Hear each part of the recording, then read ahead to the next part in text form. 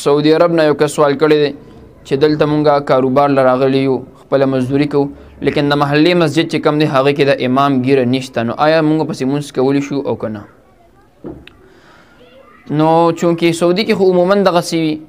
د امامانو ګیره پوره نه وي یا د سر وینا یا وی خو